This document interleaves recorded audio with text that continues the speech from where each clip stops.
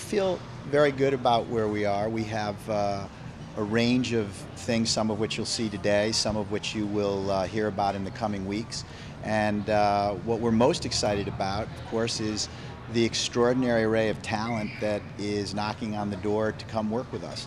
And that is, as we've always said, uh, at the end of the day, uh, we're as good as the people who come to work with us. And what we're thrilled to see is the range of talent that wants to do projects at HBO. I think the writer strike pushed us back a bit uh, in terms of uh, actually producing pilots, but we're actually shooting between now and early next year somewhere between six and seven pilots, both drama and comedies.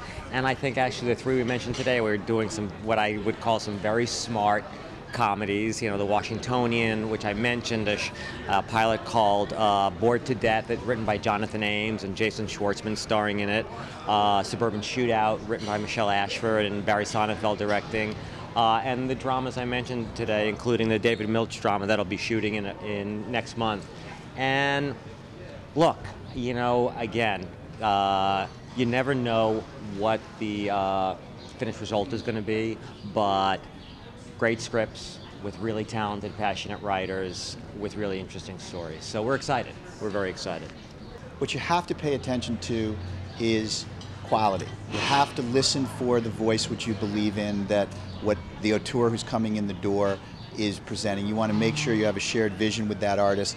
And you have to remind yourself that when Sopranos came in, when Six Feet Under came in, nobody knew that those were going to be breakthrough shows. All we knew is that those shows were excellent. So that's what we're listening for. That's what we think uh, we have with Alan and True Blood. That's what we think the shows that Mike just enumerated for you.